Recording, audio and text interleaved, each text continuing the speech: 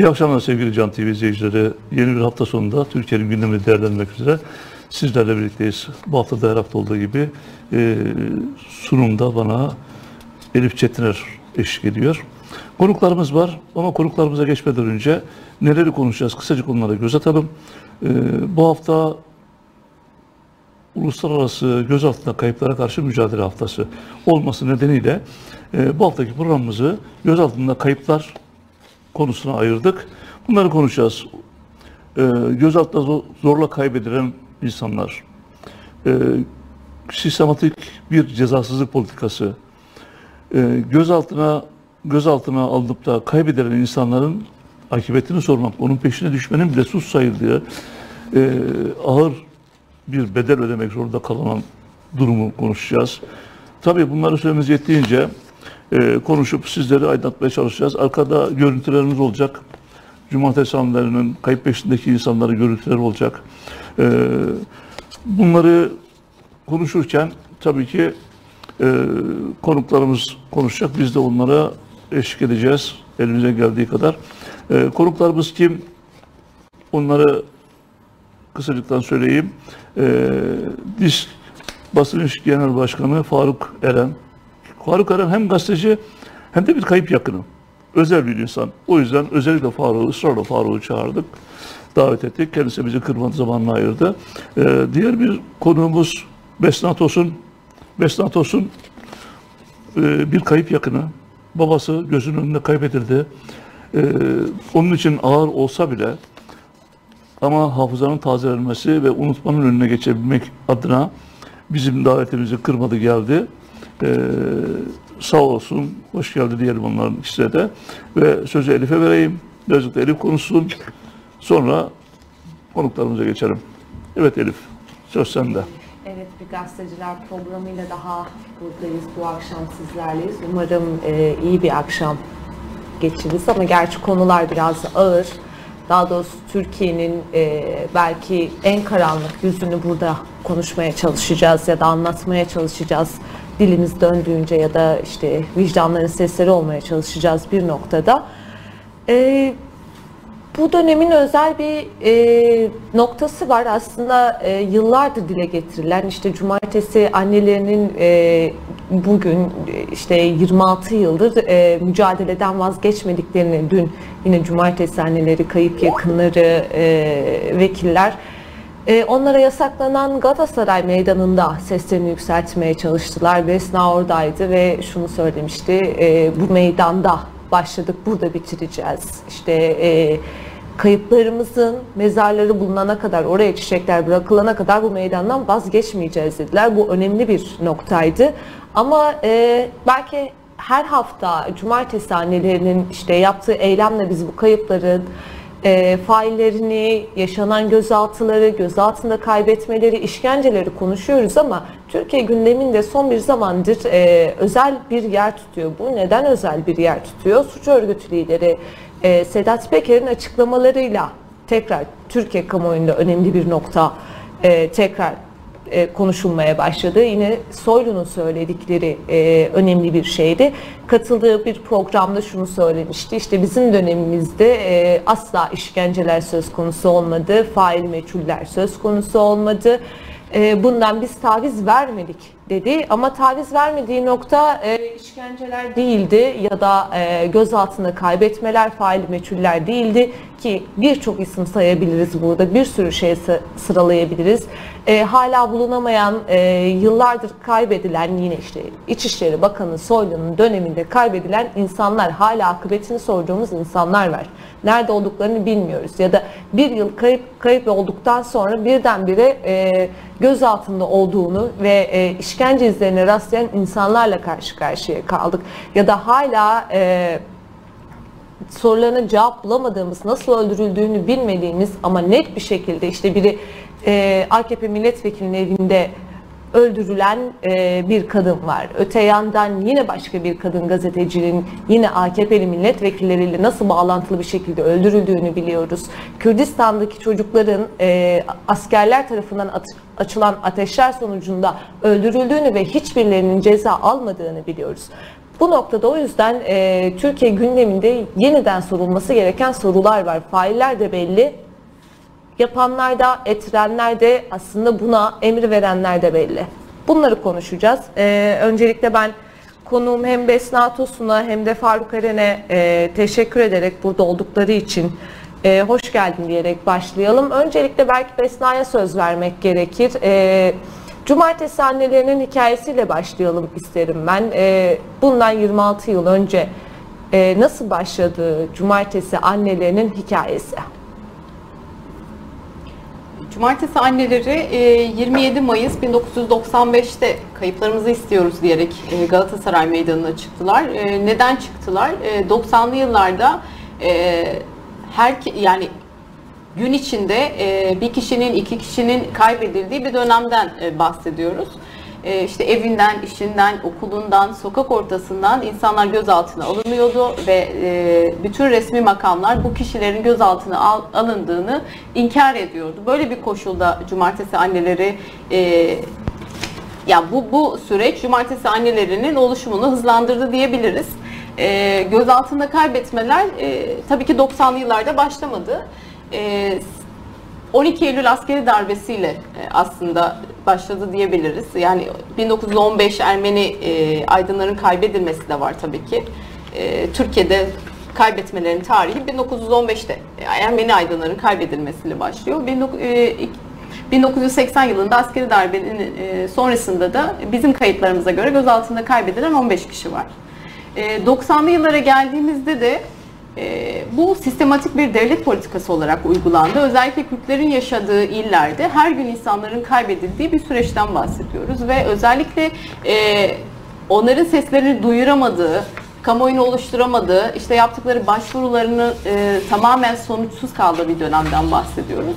E, İstanbul'da başladı e, bu mücadele. Neden İstanbul? Çünkü metropolde en çok kaybın olduğu yer İstanbul. 49 kişi kaybedildi İstanbul'da.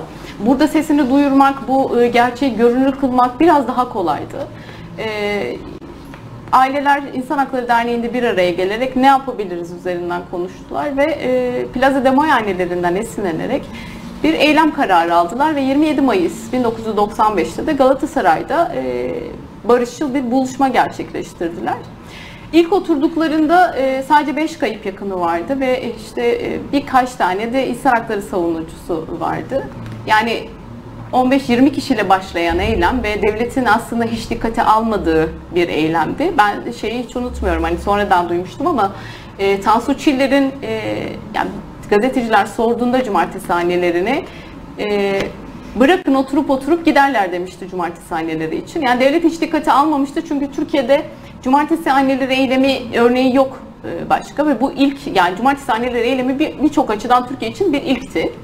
Ee, ve dikkate alınmadı. Nasılsa işte birkaç hafta otururlar ve kamuoyu oluşmaz, kimse duymaz, onlar da pes edip giderler diye düşünüyorlardı ama birkaç hafta sonra e, özellikle e, Kürdistan'daki ailelerin seslerini duyuramayan, işte o kaybetmeleri görünür kılamayan ailelerin de katılımıyla, e, daha çok işte ailenin katılımıyla e, bu sayı çok yükseldi. İşte hak savunucularının katılımı. Yani 15-20 kişiyle başlayan eylem e, haftalar sonra yüzlerce kişinin e, katılımıyla devam etti. Sadece ulusal değil, uluslararası aramda da bir kamuoyu oluştu ve Türkiye'deki e, göz altında kaybetmeler cumartesi annelerin mücadelesiyle görünür kılındı.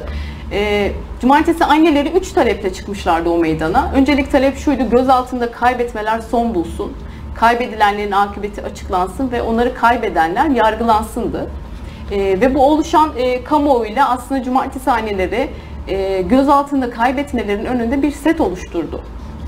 Yani cumartesi anneleri oturmaya başladıktan sonra hani sayı diye telaffuz etmek istemiyorum ama mesela 94 yılında ihaleye e, yansıyan kayıp başvurusu 500'lerde sadece bir yıl için bu başvuru sayısından bahsediyoruz. E, ve cumartesi anneleri mücadelesi başladıktan sonra bu sayılar düştü. Yani fiili olarak bu suçun işlenmesinin önüne e, geçmiş oldu cumartesi anneleri. E, ama e, 170. haftaya gelindiğinde e, devleti rahatsız etmeye başladı. Bu suç görünür kılınmaya başladı. Sadece Türkiye'nin değil dünya gündemine taşındı bu işlenen insanlık suçu ve 170. E, haftada polis müdahalesi başladı ve bu müdahaleler 30 e, hafta boyunca sürdü. E, 30 hafta boyunca anneler yerde sürüklendi e, ve çok ağır işkencelere maruz kaldı. Yaşlı anneler olmasına rağmen, kanser hastası anneler olmasına rağmen e, darp edilerek işkenceyle gözaltına alındı 30 hafta boyunca. E, 30 haftanın sonunda bir ara verme kararı alındı ve e, eyleme ara verilse de e, kayıp ailelerinin mücadelesi tabii ki birçok alanda devam etti. 10 yıl sonra yeniden başladık. E, yeniden başladık diyorum çünkü 10 yıl sonra başladığında o meydanda e, uyuyan çocuklar artık büyümüşlerdi. Evet işte o çocuklar. o çocuklar artık büyüdüler ve bugün onlar e, kaybedenlerden hesap soruyorlar. İşte bu, bu, bu Evet, çocuklarla başladık. çocuklar işte. Kiraz, Evet, Kiraz Şahin, evet. Ve çocukları meydanda büyüttü çünkü. Evet evet. Yani bizim gibi onlarca çocuk büyüdü o meydanda. Ve yeniden başladığımızda o çocuklar büyümüşlerdi, anne olmuşlardı, baba olmuşlardı ve onlar artık anneleriyle birlikte hesap soruyorlardı. 26 yıl geçti. Tansu Çiller nerede bilmiyoruz. Kimin arkasında saklanıyor bilmiyoruz ama biz annelerimizle e, birlikte hala o meydandayız. Hala kaybedenlerden hesap soruyoruz. Evet, şöyle ben senin söylediklerine şöyle bir şey ekleyeyim mi? Ee, İHA'denin verdiği rapor şu şekilde. 91'de 4 kişi kaybedilmiş. Yani İHA'denin resmi başvurusundan bahsediyoruz. 92'de 8, 93'te 36, e, 94'te 229. 95'te 121'e düşmeye başlamış. 96'da 68, 97'de 45, 98'de 9. Yani iğme yukarıya kadar çıkmış 94 yılına kadar ondan sonra inişe başlamış ve şeyden sonra 98 sonrasında ise bu sayı hemen hemen yok gibi bir şey. Sadece 2000'li yıllarda 2020 miydi, 2018 miydi e, birkaç kayıp kayda geçmiş. Yani burada cumartesi annelerinin sizin cumartesi annelerinin ve cumartesi annelerini destekleyen insanların mücadelesinin e, çok büyük rolü var. Nasıl rolü var? Mesela seninle ilgili şey söyleyelim. E, mesela e, kaç yılındaydı? U2 kasette kaseti yaptığı albümün kapağında e, babana selam göndermişti. Evet U2 o selamı gönderince bir anda bütün e, Avrupa e, bu olayın daha ciddiye alınmasını düşünmeye başladı ve daha ciddiye aldılar. Daha ses getirir oldu.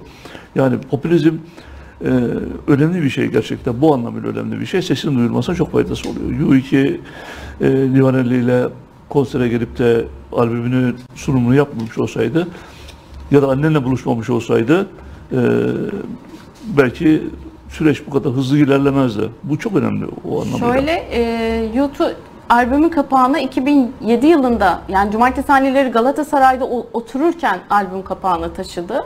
E, yani gözaltı Türkiye'deki kaybetmelere dikkat çekmek için e, gözaltında kaybedilen Fehmi Tosun'u unutma diye kapağı yazdı. Bu Cumartesi annelerinin mücadelesiyle oldu. Yani e, bütün dünyaya seslerini duyurdular. E, bu onun bir yansımasıydı. E, 2011 yılında YouTube Türkiye'ye gelip konser verdiğinde e, konser öncesi görüştük annemle birlikte ve konserde sahneye çıktığında yine aynı şeyi söyledi. Fehmi Tosun'u unutma diye anons yaptı ve e, binlerce insan vardı olimpiyat stadyumunda ve herkes durup birbirine baktı. Biz de oradaydık konseri izlerken. Etrafımızdakiler de Fehmi Tosun kim ya e, falan demeye başladılar. Yani dünyaya sesimizi duyurduk. Annemin yorumu oydu. Hani dünyaya duyurduk ama kendi ülkemize sesimizi duyuramadık aslında. Evet. Faruk'la Elif Faruk sevgili başkanla sen sor istersen. Faruk bu ikide kalmış gibi oldu ama Yok ya Faruk'u bunun dışında bırakmak mümkün değil. Ama Çünkü, hatta şimdi e, zaten hatta da. Hoş geldin Sayın Faruk Erendisk, e, basın iş baş, başkanım. Aynı zamanda önemli bir meslektaşım ve e, diğer taraftan da bir kayıp yakını Faruk Eren aynı zamanda ama e, şimdi ben ona farklı bir şekilde sormak istiyorum. Çünkü kendisi bir gazeteci. Aynı zamanda hem bu e, işte faili meçhullerin e, hem yakını hem tanığı, yaşayanı ve aynı zamanda bunu e, aktaranı rolünde. E, evet biz içeriden nasıl hissedildiğini Bestan duygularıyla biraz öğrenmiş olduk ama e, kamuoyuna taşınma süresi, işte medyaya taşınma süresini belki e, Faruk Eren biraz daha açarak bize anlatabilir. Yani evet orada bir mücadele başladı. İşte Bestan da belirttiği gibi ilk zamanlarda ya işte Tansu Çiller Çiller'in söylemiyle biraz oturur, hiçbir şey oluşmaz ve e, en sonunda giderler ama öyle olmadı. E, işte 26 yıldır aralıksız bir şekilde devam ediyor. İşte yarın da tekrar cumartesi annelerinin e, eylemi olacak. Nasıl başladık? Kamuoyuna yansıma durumu ya da e, anlatılma biçimi toplumda nasıl fark edildi? İşte gazeteciler bunları o dönem nasıl görüyorlardı ya da bu dönem nasıl görüyorlar? Ee, öncelikle herkese merhaba. Besna merhaba.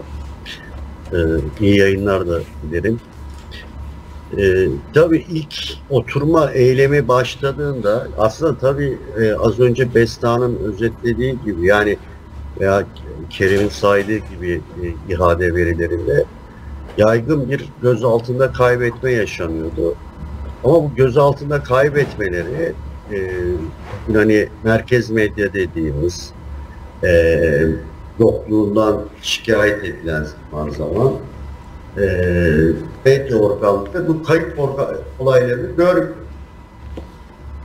Yani e, ancak işte bildiğimiz işte Özgür Gündem, Cumhuriyet, Evrensel veya çeşitli muhalif yayın organlarında e, haber olabiliyor bunlar.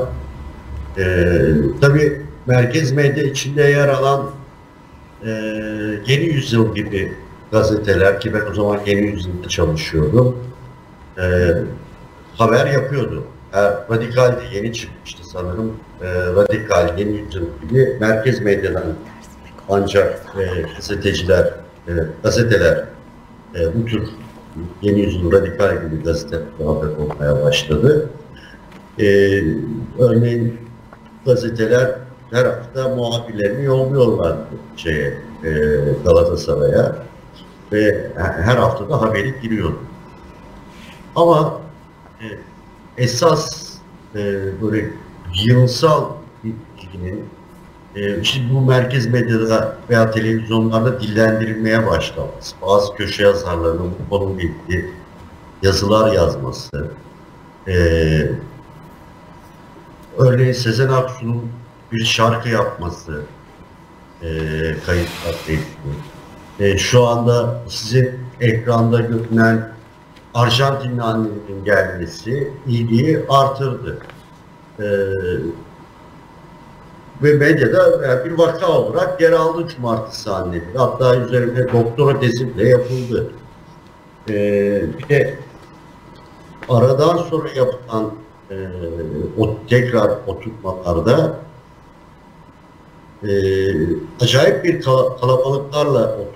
Yani özellikle o önemli yıl dönümleri yani işte 300. hafta, 400. hafta, 500, 600 gibi e, yıl dönümlerinde yani miting e, alanı gibiydi orası. E, zaten ondan da rahatsız oldukları için 700. haftada işte o hepimizin bildiği şiddet uygulandı ve Galatasaray e, cumartesi annelerine yasaklandı. E, şu anda tabii ülkede medyanın hali yani ortada. E, işte iktidar yanlısı medya e, ne yapıyor işte Erdoğan cumartesi annenin kullanılıyor dendiğinde onun gibi davranıyor. Ama Erdoğan cumartesi annelerini hatırlarsınız bir seçim öncesi kabul etmişti Doğu Bahçede. O zaman herkes cumartesi anneleri yazıyor. Ve şimdi yine yasaklandı. Yine unuttu onlar. Bunlar zaten böyle yanar döner iklime göre e, gazetecilik yapan, bana göre gazetecilik yapmayan aslında. Gazetecilik adı altında başka bir insanlar onlar. Ee, yine medya organları e, yer veriyor ama unutmayalım ki yani dünyanın en uzun soluklu e, direnişlerinden biri.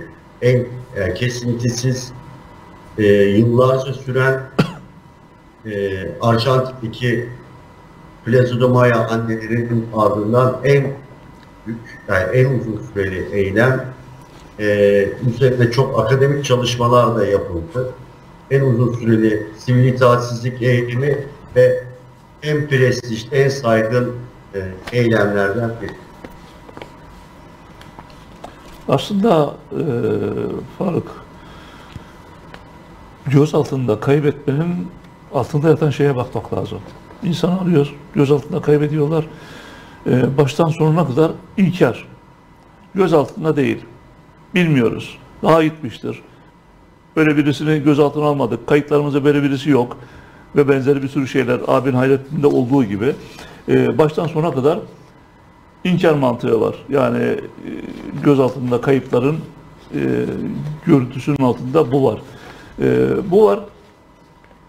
Ona rağmen Elmas Anne gibi ya da işte diğer kayıp yakınları gibi e, ısrarla takip edenler e, bu cevaptan tabii ki tatmin olmuyorlar. Yani e, adamlar diyor ki ceset yoksa cinayet de yok. Ne kadar kolay bir şey. Cesedi kaybet, e, cinayetle ilgili hiçbir soruda sorulmasın sana. Mantıkları bu. E, ama e, Çarkın gibi zaman zaman itirafçılar çıkıyor, bir sürü şeyi itiraf ediyor ama kimse kale almıyor, dikkate bile almıyorlar. E, adam diyor ki binlercesini öldürdük diyor. Ne, kaç operasyon yapmışlardı? Bin bin operasyon diyor adam rahat rahat. Ee, bu bir yanı tabii ki. Bir diğer ekleyeceğim yan şöyle. E, batı'da yani İstanbul gibi metropollerde ki İstanbul'da çok yoğun gözaltında kayıp yaşandı. E, insanlar daha e, kaybını arama, onun peşinden koşma cesaretini gösterebiliyor. Ama daha Kürt coğrafyasına gittiğimizde e, insanların kaybını aramak bir yana var olduğu yeri terk edip kaçmak zorunda kalıyor. Çünkü kaybı aramak da kaybedilme sebebi oluyor. Kaybını arıyor. Böyle kayıtlar vardı. e, bir raporda okumuştum. E, kaybını arayan kaç kişilik bir aileyi yok ediyorlar. Bulut Dört kişilik, ikisi çocuk, dört kişilik aileyi yok ediyorlar. Zannedersem e, böyle bir rapor vardı.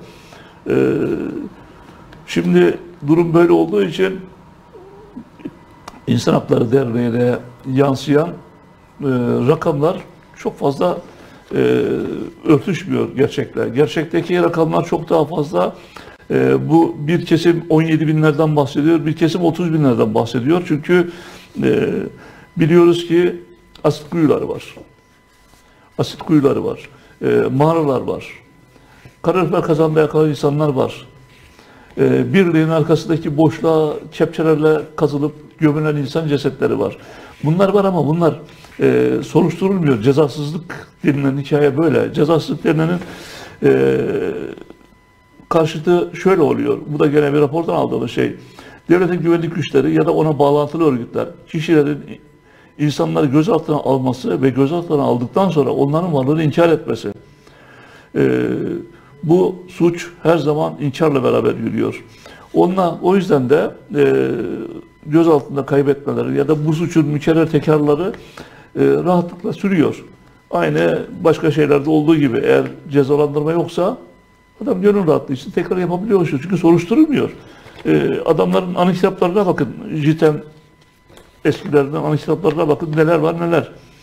E, kendi şeyde e, birlikte göz altında öldürdükleri insanların cesetlerini sakladıkları mağaraya mağarayı ailesine işaret ettiği için e, bir askerle bir subay kalorifer kazanına yakılarak öldürülüyor. Memleket böyle bir memleketteyiz ve bundan ötürü bir suç var mı? Cezalandırma. Yok. Hangisinde var ki? Yani gözaltında kayıplarla ilgili sadece zannedersem e, iki cezalandırma söz konusu. Onun dışındakilerin hepsi bir şekilde beraatla ve takipsizlikle zaman aşımıyla kapatılmış. Bu e, zannedersem e, bizim ve benzeri ülkelerin hepsinin ortak sorunu. Faruk ya da Vesna. Biraz da siz konuşun. Evet, Yani aslında cezasızlık politikasının işlenmesi yeni suçların da ortaya çıkmasına e, yol açıyor. Ya da ne bileyim işte bu kadar fail meçhulün hesabı sorulmayınca e, sadece son 15 yılda yine e, güvenlik güçleri tarafından açılan ateşle hayatını kaybeden 3'ü çocuk 17 insandan bahsediyoruz. Yani e, bu da sadece bizim bildiğimiz. Tabii ki e, bunun dışında bir sürü insanın olduğunu da düşünüyorum ve tabii ki buna e, bunu düşünüyor ol- olmak bile kötü bence insanın kendini kötü hissettiren ya da nasıl bir yerde nasıl bir yaşam mücadelesi verdiğini sorgulatan bir e, durum söz konusu. Cezasızlık politikası e, bu ülkenin politikası haline getirildi. Yani sürdürülebilir ve sistematik bir hale geldi. Bugün hala aynı şey e, oluyor ya da işte soruyu biraz da şöyle mi e, sormak gerekir acaba? İşte e, Çarkı'nın ifadeleri, şimdi tekrar e, Peker'in ifadeleri biz öldürttük, biz yaptırdık, bizzati ben verdim, ben gönderdim söylemleri işte kardeşini bile bir cinayeti nasıl işlemeye gönderdiğini ihbar eden bir yapıdan bahsediyoruz. E, ve buna karşı hiçbir işlemin yapılmadığı bir durumdan bahsediyoruz. Bu cezasızlık politikaları neden işletilmiyor? Kim neden korunuyor acaba? Sen başla Bana- istersen Mesna ondan sonra Faruk Eren cevap versin. Gözaltında kaybetme bireysel bir suç değil. Bu suç bir devlet politikası olarak uygulandı bu ülkede. Yani geçmişten 80'lerden 90'lardan bugünümüze kadar e, bir devlet politikası olarak bu insanlar gözaltına alındı, katledildi ve bedenleri kaybedildi. Yani bir kanıt dahi geride bırakmamak için insanları kaybettiler. Bu biraz da şuydu. Aslında kaybederek insanları toplumu da yani bu, bu suç sadece kişiyi e, hedef alan bir suç değil. Burada amaçladıkları şey hem kişiyi yok etmek yani kendilerine e, muhalif olan kişileri ortadan kaldırmak. E, bunu yaparken aynı zamanda yakınlarına yani onların geride bıraktıklarına zarar vermek, onları korkutmak ve aynı zamanda aslında toplumu hedef almak. Yani bak e, şunu gösterdiler. E, bakın siz de devlete itaat etmezseniz e, sizin de sonunuz bu olur. Siz de kaybedilirsiniz. Yani kaybedilmek, o belirsizlik, o çok korkunç bir şey. E, mesela bazen e, öldürdükleri insanları e, çok kolay bulunabilecek yerlere de attılar. Yani sokak orta ya öldürdüler işte kaçırıp öldürüp işte yol kenarlarına attılar. Bir gün sonra iki gün sonra bulundu o insanlar. E, on, o da, onun da amacı yine şuydu. Yani Evet kaybedilenle belirsizlikle bir e, korku yaşattılar ama bir yandan da işkencede insanları katledip e, bedenlerini parçalayıp ve e, kolay bulunabilecek yerlere atıp o gerçeği insanların görmesini sağladılar. İki gün sonra bulundu o insanlar. Ve bir şekilde de başardılar. Demin e, Kerim abinin de söylediği gibi mesela Bulut ailesinde e, Diyarbakır'da bir kişi kaybedildi ve onu arayan e, 4 kişi daha aynı aileden kaybedildi. Yani 90'larda kaybedilen e, yakınını aramak kaybedilme nedeniydi. Bu sadece Bulut ailesinden örnek veriyoruz ama tek örnek bu değildi. İnsanlar tehdit edildi. E, işte şöyle bir örneği de var. Sadece e, kaybını aramak değil. E, hukuki olarak bunun mücadelesini vermek de e, suçtu. İşte gazeteci Ferhat Tepe katledildi, avukatı tehdit edildi ve avukatı e, Şevket Epözdemir de e, Tepe davasına baktığı için katledildi. İnsan hakları savunucuları bu mücadeleyi sürdürdükleri için e, katledildiler, işte cezaevlerinde kaldılar, silahlı saldırıya uğradılar. E, yani bu, bu mücadeleyi sürdüren herkese hedef aldılar, korkutup sindirmeye çalıştılar. E, ya mesela babamın olayında da e, ya bu bunu işte Bulut ailesi dedik ama birçoğumuz aslında yaşadık bunu. Yani annem karakola gidip başvurduğunda dönüp karakol amiri şu cesareti gösterdi. Daha babam e, kaçırılalı yarım, yarım saat olmuş. Anneme işte sen git evinde kal. E, bu, bu iş seni aşarsan bulamazsın diye tehdit etti annemi mesela. Yani hani bu bizim yaşadığımız. E, itirafçıların e, ya o suç işleyenlerin itiraf etmesine de gerek yok. Hepimiz tanık olduk bir şekilde. Ya bizim yakınlarımız e, bizlerin yanından mesela babam evinin önünden kaçırıldı. Biz tanığız. Yani kaçıranları gördük. E, bütün mahalleli tanık oldu. Bunun çok örneği var. Göz Evet, altında merkez medyanın ya da iktidarın yandaşlarının o dönemde e, yaptıkları haberler de var bak. E, göz altında kaybedilmiş adam, yok edilmiş, e, gayet rahatlıkla e, onlar dağa gittiler. Git oğlunu dağlarda ara. Kürtlerin yaşadığı yerlerde Evet. genelde öyleydi. Biraz da şeydi. Ya aileler şunda da mesela senin demin söylediğin sayı bu, bu doğru bir sayı değil gerçekten. Tamam bizim teyit edebildiğimiz ya İHAD ve Hafıza Merkezi'nin hazırladığı e, 1388 kişilik bir e, liste var. O listenin işte yaklaşık 500 kişi teyit edilmiş, e, kayıp olan ve dosyası olan kişiler var ama bu sayının gerçek olmadığını biliyoruz. Bu onlarca, yüzlerce e, sayıyla telaffuz edilecek değil yani binlerce insanın kaybedilmesi aslında araştırılırsa bunun e, 10 binleri bulacağını çok iyi biliyoruz. Yani insanlar biraz da şu da Kürdistan'da mesela e, ya kimi kime şikayet edeceğiz dediler. Yani devlet aldı bu insanları kaybetti. E, başvurup sonuç alamayacağını biliyor insanlar. Ve hepsinde de ya işte Türkiye'nin kayıplar politikası inkar ve cezasızlık üzerine kurulu. Devlet bu sistematik olarak bir suç olarak işlendi ve inkarla başladı. Cezasızlık da sürüyor. E, neden cezasızlık? Çünkü bu dediğim gibi bireysel bir suç değil. Bu suçu işleyenler kadar e, bu suçun üzerine örtenler de suçlu. Yani bugünün iktidarı da bu suçun ortağı. Çünkü e, bu bir insanlık suçu ve siz fiili olarak bu suçu işlemezseniz de eğer görmezden geliyorsanız, üzerine örtüyorsanız, failleri koruyorsanız siz de bu suçun ortağısınız. Yani bu Şöyle suç bir şey var Besna. Ee, gözaltında kaybedilme kişi olayı bir insanlık suçu. Tamam, doğru. Ama dava açma, aç, açtırmayı başarabildiklerinde, insan hakları savunucuları yakından dava açtırabilmeyi başardıklarında da e, tümüyle bu şekilde görmüyorlar. Tamam, tamamında sıradan bir cinayet davası gibi Tabii, tabii, görüp değerlendiriliyor ve bunun da bir zaman aşımı var tabii ki böyle olunca. Ama insanlığa karşı bir suç olmuş olsa zaman aşımı yok. Yani ceza kanununda insanlık suçu olarak tanımlanmıyor. Sıradan adli tabii cinayetler tabii Cemil olarak Kırbayır görülüyor. dosyası önümüzde duran en yakın örnek. Tabii o şöyle de önemli. Devlet e, o dosyanın araştırılması için bizzat Erdoğan'ın talimatıyla bir komisyon kuruldu mecliste. Ve bu komisyon e, Kırbayır dosyasını araştırarak 350 sayfalık bir rapor hazırladı ve o raporda Cemil Kırbayır'ın yani ilk kez oldu bu Türkiye'de gözaltında işkenceyle katledildiği ve kaybedildiğini yazdı o rapor. Ve o raporla suç duyurusunda bulunmalarına rağmen bugün dosya kapatılmak üzere. Yani kendileri o günün koşullarına göre e, demokrat görünmeye çalıştıkları için evet komisyon kurdular. Bir rapor hazırlandı ama meclis de bunun arkasında durmadı. Ve Evet. Yani kabul ettikleri suçu bugün inkar ediyorlar. Maalesef öyle. İnkar. İnkar ve cezası. Her şey inkar. Evet Faruk. Biraz da Faruk Eren'e atmak lazım belki onun gözünden Faruk farklı bir dostumuz biçimde. Faruk Eren. Ee, İnkar dedik de İlker e, Elmas anne Kemal amcayla Hayrettin aradığında e, İlker karakolun önünde başladı aslında. Karakol defterinde kaydı var. Bir sonraki gittiğinde o defterin o sayfası yırtılmış vaziyette. Gözaltına giren şey kaydedilir. Aslında herkes etmezler tabii ki. Normal prosedür işletirler. E, Kemal amcanın adına kayıtlı araba Gayrettepe Şube'nin otoparkında. Elmas Ele bunu görüyor. E tabii ki arabasını tanımaz bir insan. Tanıyor. Diyor ki oğlum da orada. Ve bu kısmı da istersen Faruk e, sen bir miktar daha aç. Biraz acı verici bir şey ama hafızayı tazelemek gerekir. Aslında şöyle bir şey var tabii. Abimin e, yakalandığı, gözaltına alındığını öğrenince işte Karagümrük Karakolu'na götürüldüğünü e, öğrendik. Çünkü 12 Eylül'ün hemen sonrası böyle toplu operasyonlar yapıyordu. O operasyonda da 8 kişi e, gözaltına alınmıştı. E, işte Karagümrük Karakolu'na annem gidiyor ve diyorlar ki işte gözaltı o 8 kişinin adı var o gözaltı defterinde. Abimin de adı var. E, diyor ki diyorlar ki işte Gayrettepe'ye siyah şubeye yoktu.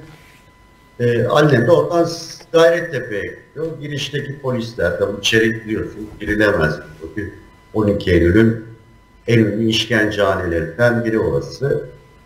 E, polisler içeri soruyor. Diyorlar ki Gayrettin Eren diye biri yok. Öyle biri gözaltına alınmadı.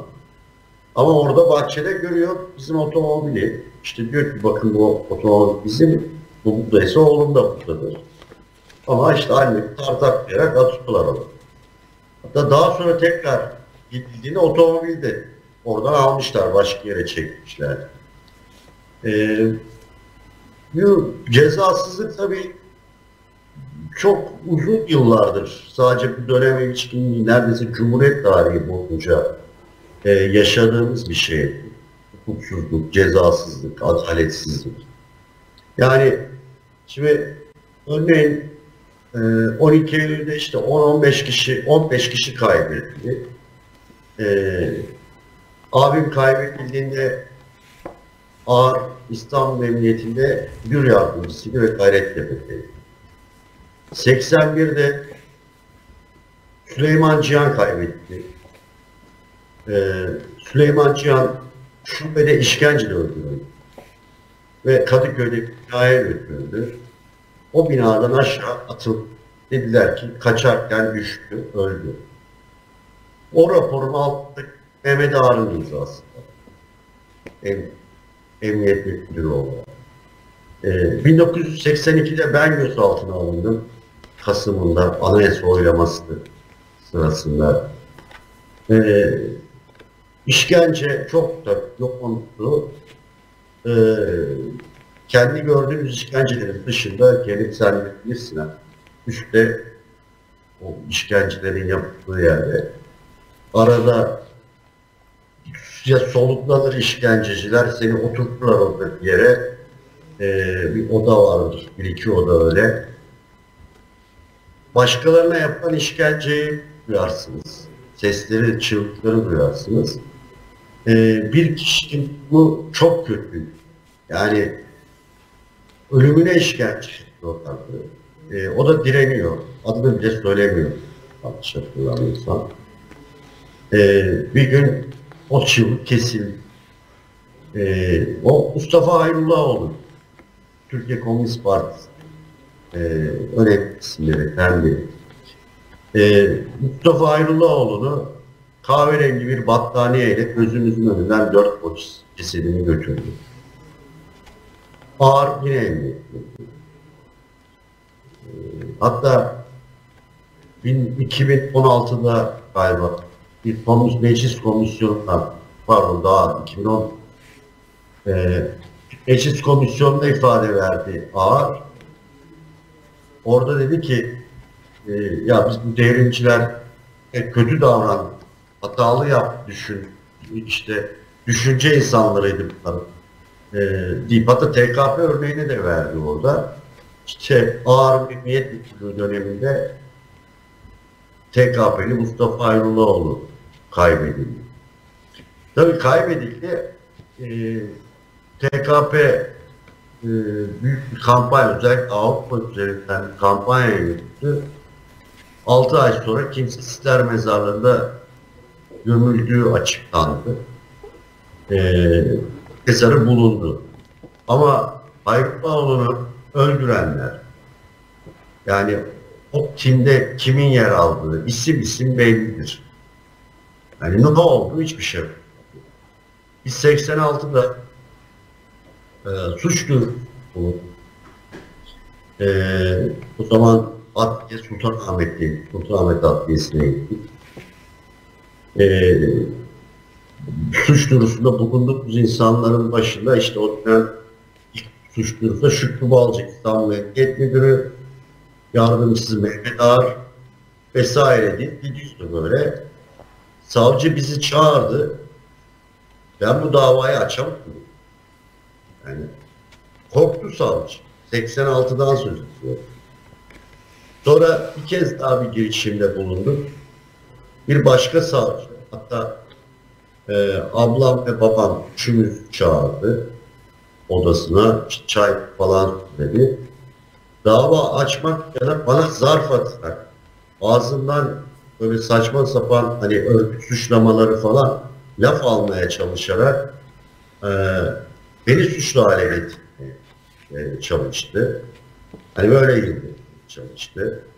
E, az önce dediğimiz gibi hani bütün suçlar ins- insanlığa karşı işlenmiş suçlarda zaman aşımı olmaz. Ama Türkiye Birleşmiş Milletler gözaltında zorla kaybetmelere karşı sözleşmesini imzalamıyor ısrarla. Ee, 700. haftada o alanın bize yasaklanması, kayıtlarımızı aramamızın yasaklanması e, şu anlamda geliyor. Şu anki iktidar bütün bu kayıp olaylarını üstleniyor. E, fail tarafında yer aldığını kabul ediyor aslında. Ee, Ee, fark Şöyle bir şeyle araya girmek istiyorum. Evet, e, bu soruşturmalar araştırılmadan, e, araştırılmadan üstü kapatılarak, işte davalar bir şekilde kapanarak, zaman aşımına uğratılarak e, iktidarın bu suça ortak olduğunu söyledin ama belki şu hatırlatmayı da yapmak gerekir. İşte adına çözüm süreci e, denilen dönemde bir komisyon kurulduğunu söylemiştik. Cemil Kırbayır dosyası üzerinden ve herkesin gözü önünde e, Berfu Ana'nın söz, sözleri vardı. Berfu Ana'nın konuşması ve işte dönemin başbakanı, şu anın Cumhurbaşkanı Erdoğan'ın verdiği sözler vardı. Yani bu noktada e, kesinlikle bu e, kayıpların üzerine gidileceği, faillerin yargılanması e, ve işte Cemil Kırbayır'a ait bir cenaze bir kemik de olsa Berfu Ana'ya teslim edileceği yönünde sözleri vardı. E, şimdi görüyoruz ne yazık ki Berfu Ana e, yani şu an artık aramızda değil mücadelesi e, ikinci nesiller, üçüncü nesiller olarak hatta devam ediyor. E, yani bu süreci de irdelemek gerekmiyor mu? Yani hani bir dönem söz verildi, bütün kamuoyu önünde söz verildi, görüntüler hala e, önümüzde dolaşıyor ve bugün de çıkıp e, bizi yuhlatabiliyor ya da sokak ortasında e, dövdürtebiliyor, işkenceye maruz bırakıl, bırakılabiliyor ve bunların hepsi de kamuoyunun gözü önünde yaşanıyor. Ya aslında o şöyle bir şeydi. Yine bir seçim dönemi öncesi Erdoğan başbakanken e, bir televizyon programında cumartesi anneleri kullanılıyor gibi bir laf etti. E, cumartesi annelerine e, mütür hakaret etti. Büyük tepki aldı. bu söz. Tepki tam seçim öncesiydi. Bu söz e, te- tepki çekince bu sefer bir politik manevrayla e, cumartesi annelerini kabul etti. İşte 25 adet galiba tam anlamsız sayıyı tam anımsamıyorum. İşte Berfu Ana. Kayıp yakınları diğer. Annem de vardı. Ve orada Erdoğan işte bizim dönemimizde hiç kayıp olmadı deyip e, sadece Berfu Ana ile yani Cemil Kırbayır dosyasıyla ilgili bir komisyon kurduk. Bu da bir politik manevraydı. E, halbuki tüm kayıplar için komisyon kurulabilirdi. E, bizim talebimiz de bu. Hakikat komisyonu. Hakikatleri araştırma. Hala talebimiz arasındadır. E, ama e, tek kişi konusu Zafer Üskül'den düşen işte Cemil Kırbayır'ın gözaltında devlet kayıp öldü. Bir yere gömüldüğü şey yapıldı. Ama yer bulunmadı. E, ve kısa bir süre önce de o dava düştü.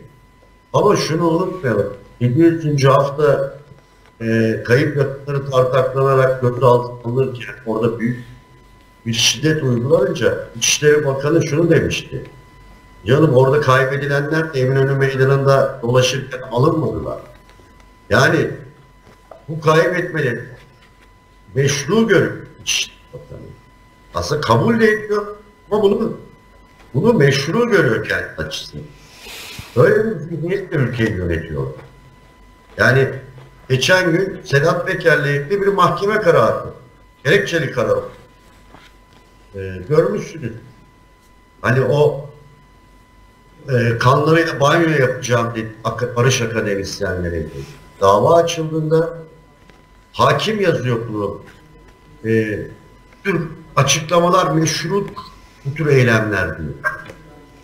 Yani nasıl bir zihniyetle yönettiğimizi e, söylemek, yani göstermek için söylüyorum. Mesela geçtiğimiz gün Erdoğan'ın Meral Akşener için söylediği laflar.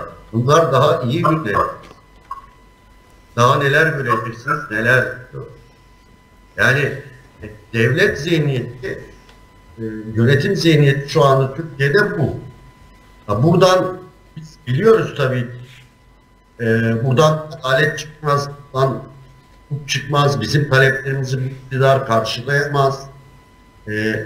Ama bakın biz orada otururken hala insanlar kaybediyor. İlk oturmaya başladığımızda. E, biz o politikayı geri gerilettik. İşte Kerem de söyledi. Ama yeniden göz altında kayıplar yaşanıyor şu anda. Yani. İnsanlar kaçırılıyor. Bir yerlerde gizli gözaltı merkezleri var. Zaten gizli gözaltı zorla kaybetmenin başlangıcı. Ee, Birçok özellikle genç sosyalistler, gerçi muhalifler, çeşitli işte siyah transportlara atılıyorlar, bir yerlere götürülüyorlar, tehdit ediliyor, ajanlık teklif ediliyor. Ee, bir süre sonra bırakılıyorlar. Ee, umarım politik daha ileri geçmez. Ee, Faruk. ama tek giderse gitsin mücadelemizden de vazgeçmeyiz. Evet haklısın. Ee, reji de işaret ediyor. Süre diye bir şey diyor. Süre de haklı diyor. Zaman diyor geçiyor. Bizden sonraki programın süresini almayın diyor. Ee, ama e, son sözleri almaya geçerken bir rejiden rica ederim. Sesli bir görüntümüz var.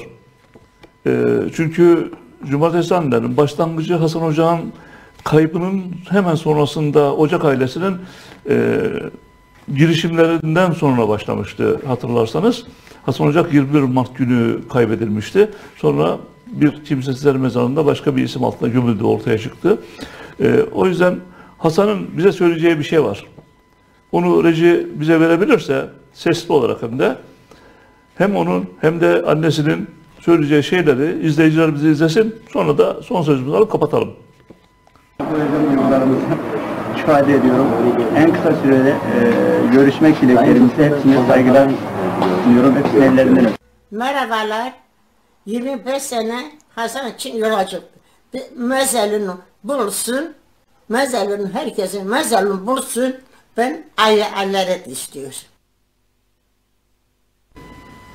Evet, e, Faruk, e, bir başka programda gene görüşelim. Hatta daha sık görüşelim. Teşekkür ederiz bizi kırmadın. E, Besna Tosun iki dörtlü yapamıyoruz ama Besna Tosun'a da teşekkür ediyoruz. Sağ olsun. E, bizi kırmadı, geldi e, diyelim. Önümüzdeki hafta Türkiye'nin gündemini yeni konuklarla değerlendirmeye devam edeceğiz. Biz gene burada olacağız. Biz izlemeye devam ediniz diyerek sözü Elif'e bırakayım. O da kapanışı yapsın. Herkese iyi akşamlar diyoruz efendim. Evet hem Besna'ya hem Faruk Eren'e katıldıkları için ve e, hafızamızı yeniden tazeledikleri için teşekkür e, ediyorum ben de kendi adıma. E, her ne kadar her konuştuğumuzda e, canımız yeniden yeniden yansa da e, bunları konuşmak zorundayız. Çünkü bu Türkiye'nin gerçeğini, bu karanlık yüzünü tekrar tekrar ifade ederek e, anlatmak zorundayız. İnanıyorum ki bir gün mutlaka bu failler cezası bulunup cezalandıracaklar. Ee, sorumlusu her kimse bunların hesabı sorulacak. Ee, biz de bunun akıbetini sormaya, orada direnenlerin sesi olmaya devam edeceğiz. Diyelim ve önümüzdeki haftada e, yeni konu ve konuklarla sizlerle birlikte olmak dileğiyle diyelim. Şimdilik herkese iyi akşamlar.